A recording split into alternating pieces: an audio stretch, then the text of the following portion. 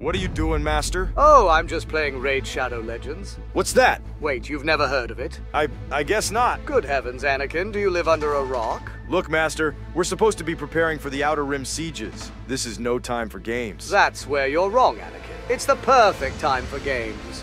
Because last time I checked, we have a long ride through hyperspace. What better way to pass the time than play Raid? Okay, fine. Just tell me what it is. It's a strategy-based mobile game set in the fictional realm of Teleria, which has been subjugated by the Dark Lord Cyron. There's Sith Lords? No, Anakin, he's not a Sith Lord. I think, at least. Anyways, players take the role of an ancient Telerian warrior resurrected to defeat the Dark Lord and restore peace and harmony to the territory. That actually sounds pretty awesome, not gonna lie. It is, Anakin. It is. I'm gonna start downloading it right now. Excellent. If you want to get a great start on the game, make sure you click this link. Okay, what does it do? By clicking the link in the description, new players will unlock two very powerful epic heroes, Lightsworn and Juliana, upon reaching level 15. You can also use the code GETOBORO to unlock another epic champion called Oboro. Oboro has some of the best damage multipliers from the Shadowkin faction. Using the code Raid War Maiden will unlock you a rare champion called War Maiden. That's awesome, Master. Anything else I can unlock? One more thing. New and existing players can use the code I love Raid to get a rare champion preserver and some other amazing bonuses. So, Master, can you walk me through the game? Maybe give me a little tutorial? Certainly.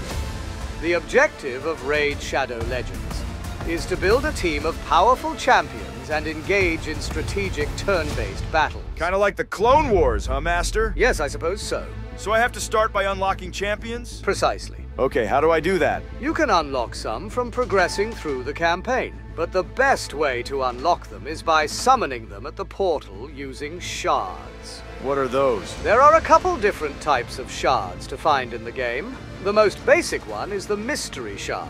You can find these easily, and they usually provide common or uncommon champions. If you want more powerful champions, Ancient Shards are a higher tier shard that allows you to summon rarer champions. And then there's Void Shards, Primal Shards, and Sacred Shards. These are even rarer and more powerful shards that have a higher chance of summoning epic or legendary champions. Okay, that makes sense. And after you summon a champion, you can read about them. The lore is quite fascinating on some of them.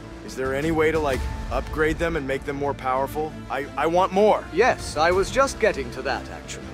There are a number of ways to upgrade your champions. You can trade in unwanted champions in the tavern to upgrade their levels as well as clear your storage for more champions.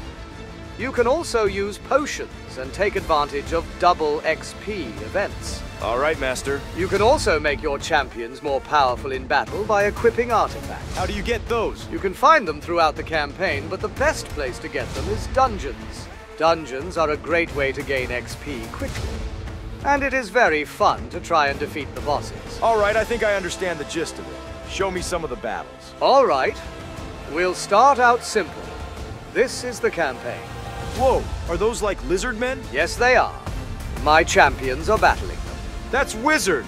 Looks like they're no match for your guys there, Master. Yes, I suppose that was a rather successful offensive I mounted. But just wait, Anakin. It gets more challenging as you progress through the campaign.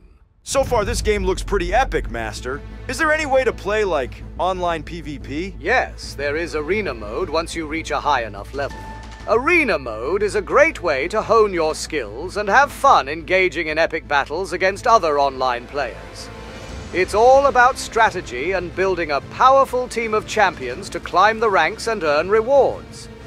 It's a thrilling way to test your skills and see how your team stacks up against others. That sounds awesome.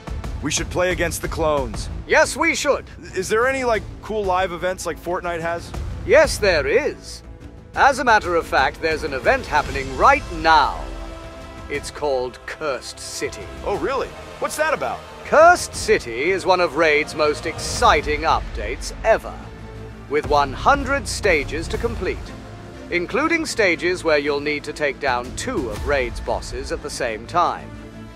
As you work your way through the Cursed City, you can complete its various quests, and you can even get your hands on a mythical champion. That's incredible! I can't wait to play that.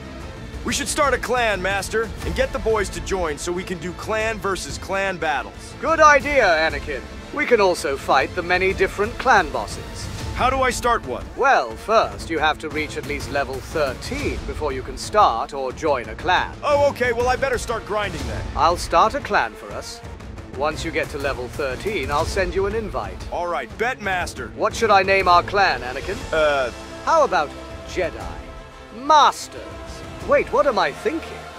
Then you wouldn't be allowed to join. Hardy Har Har. Very funny, Master. I'm gonna name it General Kenobi Rocks. Ugh, seriously, Master? Why? because I do. You, uh, you do rock, Master. All right.